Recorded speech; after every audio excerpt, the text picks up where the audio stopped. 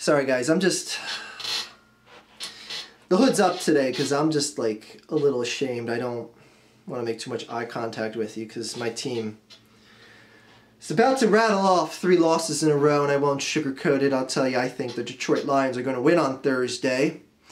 Um, thank you, schedule makers, for having a Thursday Thanksgiving game scheduled for the Eagles. That's going to do wonders for Thanksgiving dinner because this is the game that airs right before dinner. Um, I feel like Assassin's Creed here. Anyway, um, let's be real. Like I said in my week review, week preview video that I made earlier today, this is an Eagles team that is not trying hard for the coach. And I put all blame on what is going down on the coach slash GM, Chip Kelly. This team is not motivated to go that extra mile. And like I said in my preview video, if I feel my team has all the pieces uh, aside from a good starting quarterback and aside from what I feel is the next essential piece is that wide receiver that stretches the field, which oh, if, if only we had a receiver like that that we didn't just cut for absolutely fucking nothing. D-Jack. um, if you have all these pieces in place, it doesn't fucking matter. It doesn't matter if you have a good front seven, good running back corps, decent receivers, decent secondary, very good secondary if you look at guys like Jenkins. Um, would like another solid corner on this team, but I digress. It doesn't matter if you have all those good pieces in so many places if the guys aren't going to go an extra step. Because any team, any team that has good pieces in place has to rely on them going that extra step. Because extra steps are the difference between several wins and losses at any given point of the year. Any given point of the year. And you got guys like DeMarco Murray sliding at the first down marker, like you saw in that Miami game, which, frankly, if he was a quarterback, that wouldn't have been a first down since he was running back. The slide continuation counts. Um, seeing guys like that that have never shied away from running into the incoming tackler, uh, I go, what's the point? What's the point in convincing myself that this team can beat anyone, can make any sort of noise until this coach is gone. Chip Kelly has to go. Chip Kelly needs to go. This team is going to go nowhere with him, Shurmur, or Billy Davis. They've all got to go. Uh, we're also in a conundrum of that Jeff Lurie can't fire him. Because you can't make someone a GM and then within a year's time go, I don't want the guy, he's fired because that is like a vote of no confidence on yourself. No self respecting owner in the NFL is going to give a vote of no confidence against themselves. Um, as for the Lions,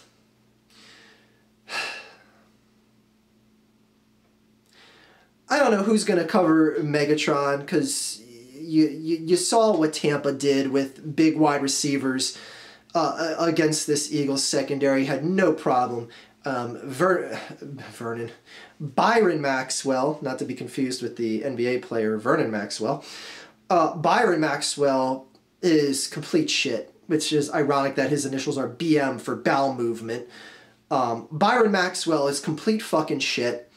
Can't uh, can't cover to save his fucking life. Can't close in on a play to save his fucking life. Uh, it's clear that he was a, a, a, a cog in a much bigger machine in Seattle where guys like Earl Thomas and Sherman bailed his ass out and helped him look like a better player. Uh, but you got paid, son, so, you know, throw your money in the air and be like, fuck you guys, I already got a ring anyway. um, Marcus Smith. This motherfucker can't even get on the field spare two or three snaps a game. And with guys like Kiko Alonso playing bad, with Jordan Hicks injured. It's like, you know, could our first round uh, could our first round pick from just two seasons ago at linebacker come into play? And it just goes to show you it's like, you know, not even the team thinks this guy is worth playing. So cut him. Cut him. Oh, that's right. Players don't get cut on this team unless they don't mesh with Chip. Unless they're like a thug like DeSean Jackson. Unless they're a locker room loudmouth like Shady McCoy. Um, unless there's someone who threatens to not show up to training camp like Evan Mathis. Uh, uh, unless unless you do stuff like that, you got a place on this team. What's that? You can't play for fucking shit? Ah, it's okay. We got a spot for you here. No accountability. No accountability.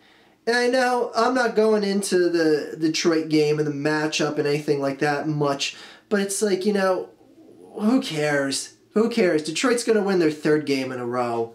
Let's be real. Is there a logical reason that you think, well, what, what, what is, what is Mark Sanchez going to remember how to play the game a uh, quarterback? Oh, what's that? Sam Bradford may still play? I don't give a fuck.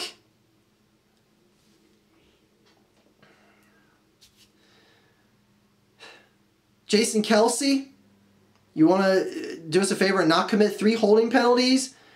Or hike the ball to a fan in the stands? This team is misfiring and sloppy on so many fucking levels. Can't catch the ball, which I said weeks ago was suspect that this team all of a sudden got the dropsies because it's kind of like the players are like saying like, you know, let's just fuck this season. We'll just we'll just miss passes. We'll hike balls through the uprights like Jason Kelce's doing. Uh, we'll just we'll miss tackles like like. Like Kiko Alonso, this motherfucker's avoiding making tackles. Did you see that game against Tampa? Motherfuckers getting out of the way of making tackles. I don't know if you knew this, but Kiko, when you're a linebacker, one of your key roles is to make fucking tackles, you douchebag.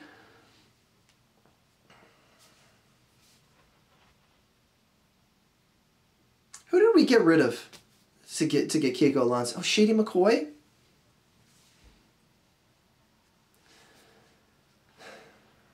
GM of the year. Folks, this ain't going to be a pretty end to the season. This ain't going to be a pretty end to the season at all. Um, uh, no live show, of course, because I'm not even going to be here for the game. I'll be watching it elsewhere, doing the family thing. By the way, everyone, happy Thanksgiving. Enjoy your Thanksgiving as well on a serious note. Um, I'm thankful that you guys still come and tune in and watch these videos. So there you go. Um, I just, I wish I could just go into a game and be like, you know, let's see, like, you know, let's see, let's see the guys play well.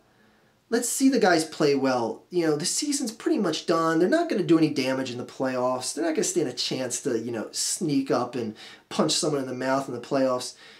Let's just see them play better. Let's just see them have a fun game where they're they're, they're you know they're having fun, running around, high fiving. But I'm like, I see that these guys aren't trying to play full throttle. So why would they try to play to have fun? I see a lot of turnovers in this game. I see a lot of Megatron yardage. I see a lot of Stafford yardage. Uh, it's just, it's not going to be pretty. I think, I, I honestly, and I'm not, I'm not just hating because I'm down on my team, but I think this is going to be a, a game that's similar to what you saw out of the, the Tampa Bay Bucks against the Eagles last week. Maybe not a four touchdown deficit, because I don't think that Detroit has that much in them. But I wouldn't be surprised if you saw something like a 28 10 final score, something like that. You know, like two touchdowns and a field goal difference type game.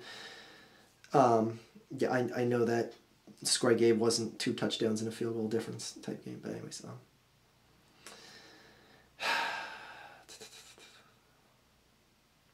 I just. at, at this point, it's like I, I just I don't even care if they look good because it's like it's it's it's it's to the point of too little, too late. It's not like oh oh wait wait wait they can get their shit together they can get their shit together guys everyone no no no they they, they did they did good they did good they beat Detroit lost to Washington week four in a game you shouldn't have lost. Lost to Miami two weeks ago in a game you shouldn't have lost. Lost to Tampa at home in a game you shouldn't have lost. To a rookie quarterback who threw up five touchdowns, completed 19 passes. Jameis Winston completed 19 passes. Five of them were touchdowns. More than 25% of his passes were touchdowns. You're gonna let a rookie quarterback do that in your home? You expect me to get hyped for this team?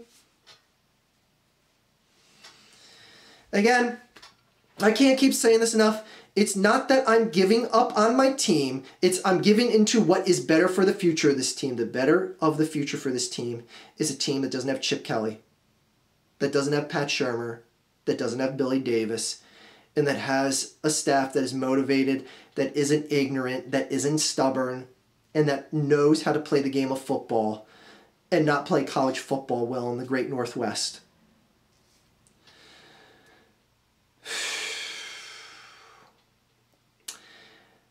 Anyways, um, I'm to watch this shit regardless because I still like to see some guys play well and see that there's hope for the future, which I think there is a lot of hope for this future because I don't think the problem is so much the players. Um, there's guys like Jason Kelce where I'm like I'm like okay whoa whoa whoa he might actually not be the real deal at center, like that. I just I I can't buy that as just like you know him not playing for a motivated coach or motivating himself to play for a shit coach. Um, there's guys like that where I'm like okay wait a second maybe we need to address this center situation right now, but I think a lot of other guys would play just well for a better coach, a better coach, a GM that has respect for the game of football and isn't a stubborn cunt. Uh, and a defense and offensive coordinator that aren't just throwaway guys from other teams that are going to be yes men to a coach that wants their coordinators to kowtow to everything they do. Uh, they, they probably wash Chip Kelly's feet. Pat Shurmur probably takes the left foot, and Billy Davis probably takes the, the right foot. And they, they probably wash his feet before he puts his socks on in the morning. Anyways, um, on the positive side, every single time that I picked the Eagles to lose this year, they ended up winning. So if they do end up winning, you're welcome, Eagles fans, if you look at a win as some sort of victory this year. But shameful. Just shameful that this team is where it's at right now. It's like, it's like Cowboys fans feel better about their team, and the Eagles have more wins than the Cowboys right now. Shameful. Shameful. Anyways, everyone, enjoy your Thanksgivings. May your teams not ruin your Thanksgivings for you if your teams are playing.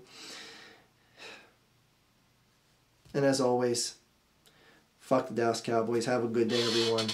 Peace.